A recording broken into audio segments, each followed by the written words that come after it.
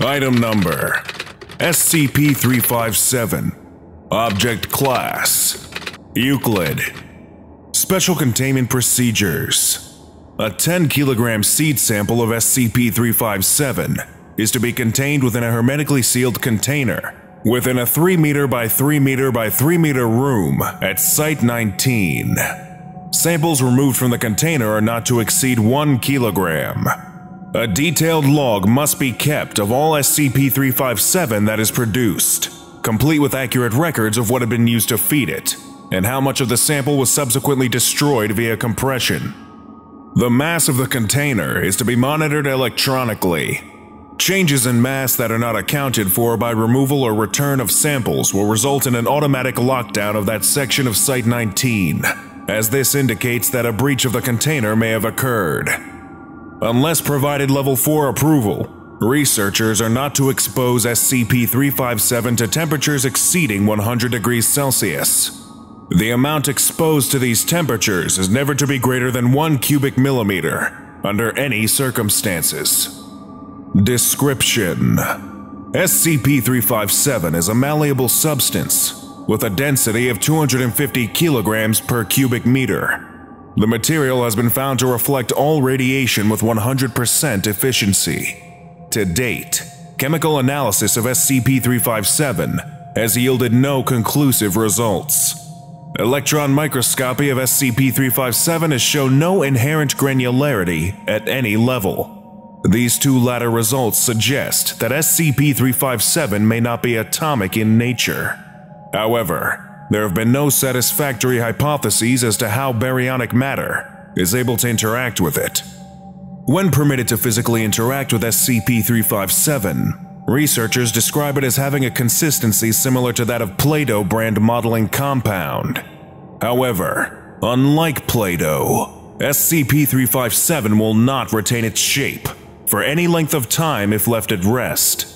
It will settle at a rate of approximately 0.5 centimeters per minute until it reproduces the shape of the inside of its container. SCP-357 will form a meniscus inside the container 7.5 centimeters high.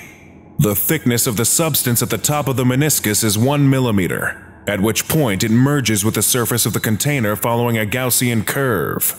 If allowed to settle on a flat surface, SCP-357 will spread until its average thickness is no more than 1 millimeter.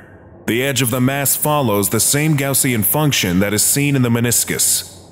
If solid matter is placed in a container of SCP-357, it will sink into the substance at a constant rate of 0.5 centimeters per minute. SCP-357 will displace the appropriate volume as any other fluid would. If the solid object is fully absorbed by SCP-357, it will become impossible to distinguish between it and the substance of SCP-357. Theories range from the object taking on the properties of SCP-357 to the object being replaced by a corresponding volume of SCP-357. If a homogeneous pressure of at least 100 newtons to centimeters squared is applied to a sample of SCP-357, the material will decrease in size at a rate of 1.3 centimeters cubed per minute or more, depending on the magnitude of the pressure. When compressed in this manner, the density of SCP-357 does not change. Rather, the mass decreases at the same rate as the volume. Where the excess mass goes is presently unknown. If compressed to approximately 1 millimeter cubed at room temperature, no amount of force is able to decrease the size any further. Application of vacuum pressure does not increase the size of a sample of SCP-357. The only method found for increasing its mass is via the encapsulation of a volume. Addendum 3571 SCP-357 was initially produced by a cyclotron in 19 at data expunged.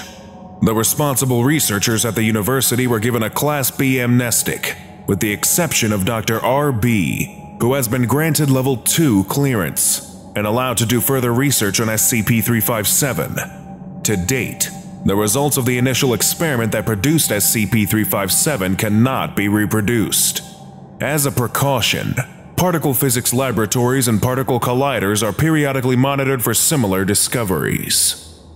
Addendum 3572 SCP 357 is pending review for use in disposal of hazardous objects being held by the Foundation. Until the properties of SCP 357 are more concretely understood, particularly in high energy environments, approval is being withheld. It is already clear that SCP 357 should not be exposed to some objects, due to risk of unlimited expansion of the material. 05 Addendum 3573 Some personnel have been caught smoking indoors and exhaling into SCP-357 in an attempt to hide the evidence. This is heavily discouraged due to security considerations, health issues, and risk of accidental ingestion. File photos of experiments 3573 and 3574 are freely available to those who continue to practice this abuse of Foundation property. Experiment Log 3571 Date Undisclosed Subject 1 ping pong ball Procedure SCP-357 is allowed to fully absorb the ball while in a container sitting upon an electronic scale. Details The ball is seen to sink into the sample of SCP-357. When the last of the ball disappears from view, the scale reports an increase in mass of 5.6 grams, equivalent to the difference between the ping pong ball's mass and that of the equivalent volume of SCP-357. Experiment Log 3572 Date. Undisclosed. Subject. A mass of SCP-357. Procedure. A sample of SCP-357 is molded into a box and placed upon an electronic scale. Before being allowed to set, the lid of the box, also molded from SCP-357, is placed on it. Details A mass increase is detected, exceeding the mass of the lid. Bisection of the box shows that it is now a solid mass of SCP-357. Experiment Log 3573 Date Undisclosed Subject One healthy Rattus norvegicus Procedure A 5mm cubed sample of SCP-357 is placed inside the rat's food. The rat is to be monitored for 24 hours after ingestion or until death, at which point it is to be dissected. Details One hour after ingestion, SCP 357 is observed to be eliminated from the rat's digestive system. Soon after, the subject exhibits a pain response. The pain is observed to increase over time. Though the mass of the animal does not change, an increasing amount of SCP 357 is eliminated from its body concluding with a continuous stream after three hours. Death occurs within minutes of this event. Dissection reveals that the entire digestive tract has been converted into SCP-357, along with a number of surrounding organs. Death is believed to have been caused by blood loss. Experiment Log 3574 Date Undisclosed Subject one healthy Rattus norvegicus. Procedure Procedure is identical to Experiment 3573. The subject is provided an intravenous supply of blood to prevent premature death. Details Observations up to the three hour mark match those of Experiment 3573. The stream of SCP 357 extruded from the rat continues at a steady rate. After 30 more minutes, the subject becomes increasingly lethargic. 15 minutes later, death occurs.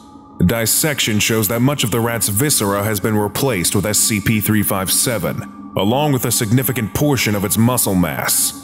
Cause of death is determined to be due to conversion of part of the cardiac muscle into SCP-357. Experiment Log 3575 Date Undisclosed Subject SCP-357 in cryogenic conditions. Procedure SCP-357 is placed into a liquid helium environment and mechanically compressed. Details A pressure of 100 newtons per centimeter squared is applied to SCP-357. The sample is able to be compressed to only 0.01 millimeters cubed. While still compressed, the sample is allowed to return to room temperature. When pressure is removed, the sample immediately returns to a volume of 1 millimeter cubed. Experiment Log 3576 Date Undisclosed Subject SCP-357 in high temperature conditions Procedure SCP-357 is compressed to 1 millimeter cubed while at room temperature. The mechanism is then placed in a 1000 degrees Celsius environment and then releases the sample. Details At a temperature of 750 degrees Celsius inside the compression mechanism, SCP-357 expands with sufficient force to damage it. 40 meters cubed of SCP-357 is produced within 10 seconds, fully engulfing the furnace, $50,000 worth of equipment, and two researchers. After one hour, the volume of the sample decreases to the equivalent of the absorbed matter. Object class is changed from safe to Euclid. No further high energy experiments are permitted unless it can be definitively shown that a repeat of the incident will not occur. Experiment Log 3577 Date Undisclosed. Subject SCP 357 Procedure. A 1 mm cubed sample of SCP-357 is placed in a 40 meter cubed container. The ambient temperature is steadily increased in order to determine the material's rate of expansion from application of thermal energy. Details The experiment is still pending Level 4 approval. Models of expansion and further information regarding safety procedures are needed from Dr. B before a decision can be made. Lesson complete. If you missed the previous orientation, go watch SCP 356 Auto Interrogation right now. Or for the complete course, watch this playlist.